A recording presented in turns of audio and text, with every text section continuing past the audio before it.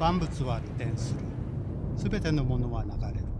すべてのものは運動する。これは2500年前のヘラクレイトスの言葉だ。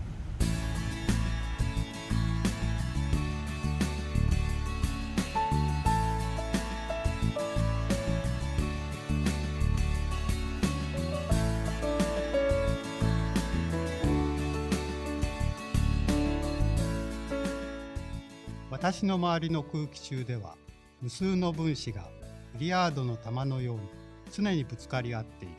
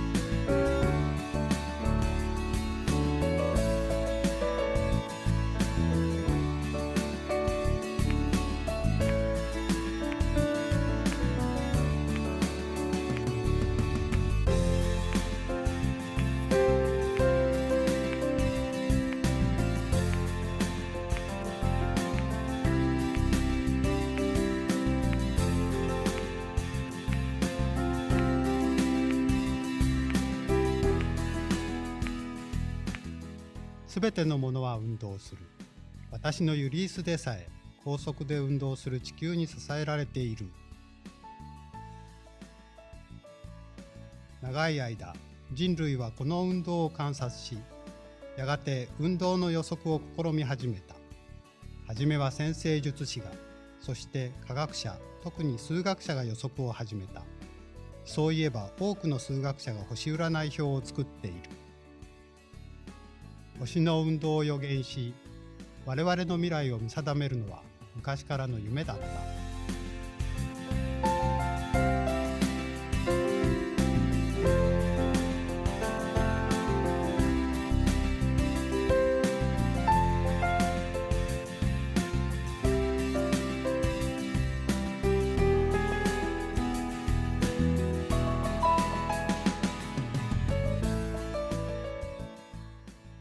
我々の周りの数学の世界でも同じように全てのものが運動する。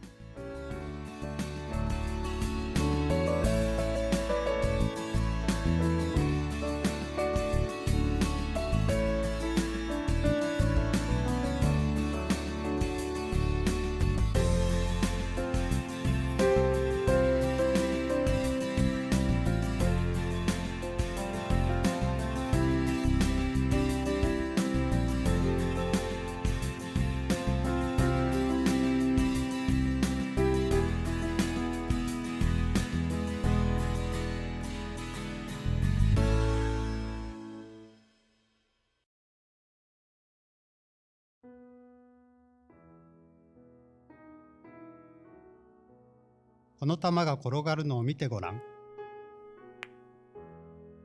ストップ。2秒後にどこにあるかわかるかな？もちろんこんな風にまっすぐ進む。この予測は簡単だった。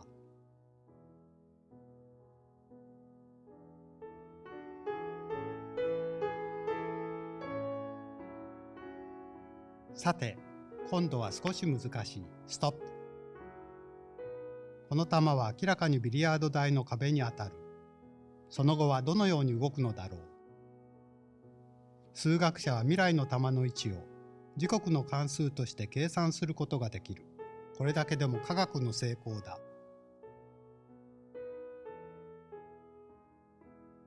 二つの球がぶつかった時でも次にどうなるか計算できるのだ。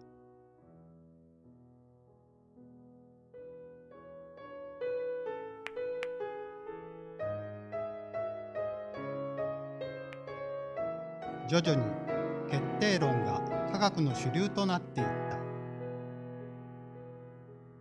現在の状況が分かっていれば原理的にはその後しばらくの間の位置を決定することができる。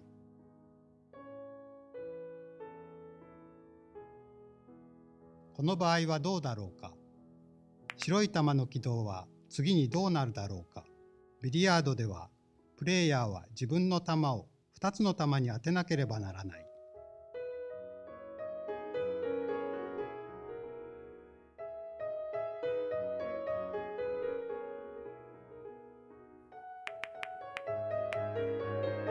うまくいった。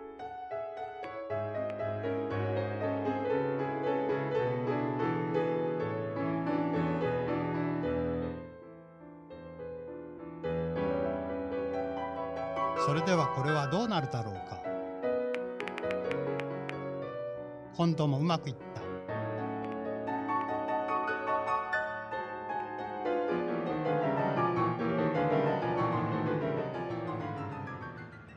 今日の新聞を読んだら原理的にはこれから1ヶ月先に世界中で起こることが予測できるだろうか。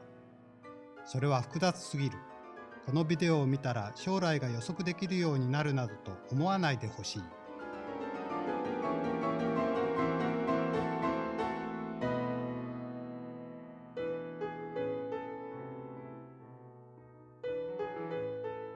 ビリヤード台に戻ろう。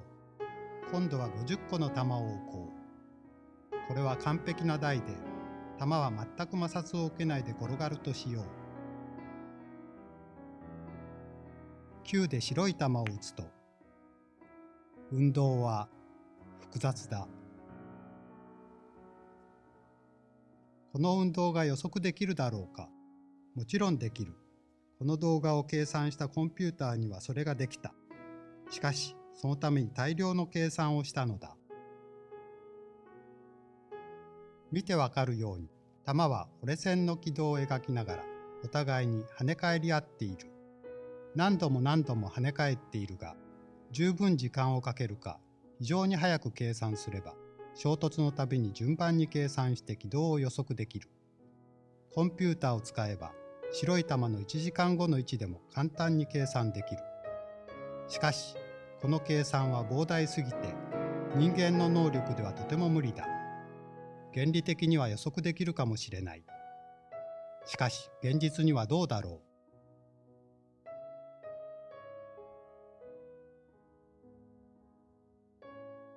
一つの玉を2、3センチずらしてみよ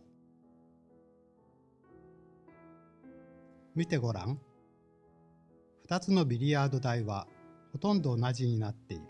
一つの玉の位置だけが少し違っている。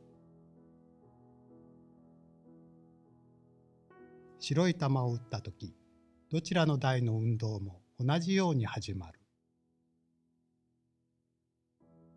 しかし少し時間が経つと軌道は全く違うものになる。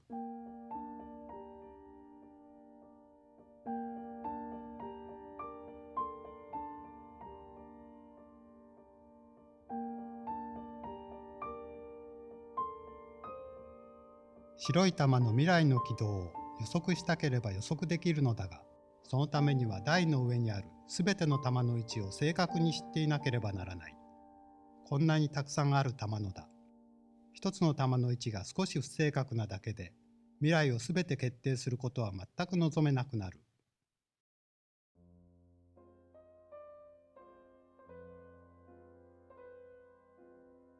数学者ラプラスによって1814年に提唱された決定論の古典的な定義は次のようなものである。現在の宇宙の状態は過去の状態の結果であり、将来の状態の原因であるとしなければならない。ある時刻に自然を動かすすべての力とすべての物体の状態を知ることのできる知性が、これらの条件を解析できる十分な能力も持っていれば、宇宙の最も大きな天体の運動最も軽い原子の運動。ただ一つの式で記述するだろう。この知性にとって不確実なことは何もなくその目には未来は過去と同じように見えているであろう。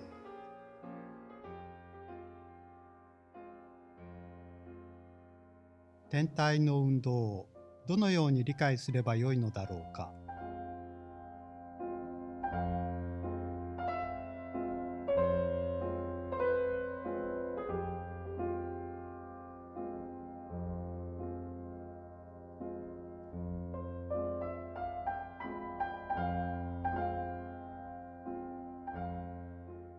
2つの太陽と1つの惑星からなる仮想的な太陽系のコンピューターシミュレーションを見てごらん。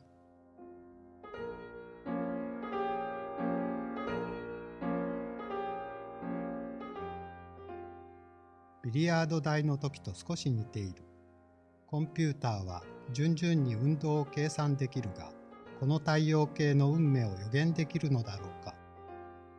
この小さな惑星はいつか太陽の一つと衝突するのだろうか。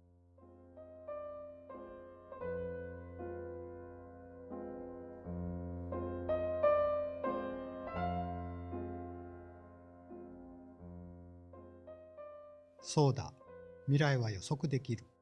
もしも我々が無限の知性を持っていたら、しかし不幸なことに、あるいは多分幸せなことに、無限の知性は持っていない。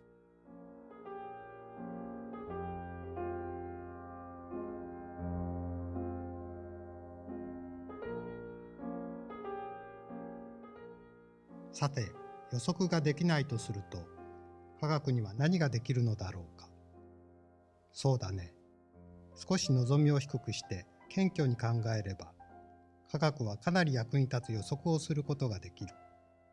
そのためには決定論について違った見方が必要だ。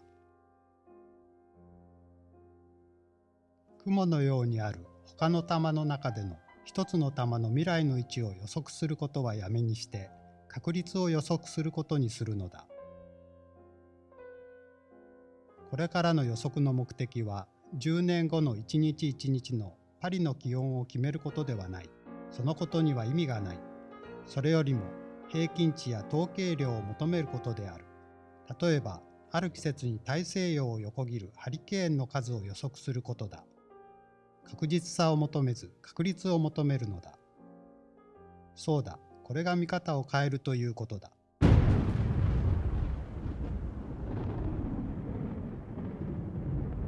理論と現実の間には大きな隔たりがある。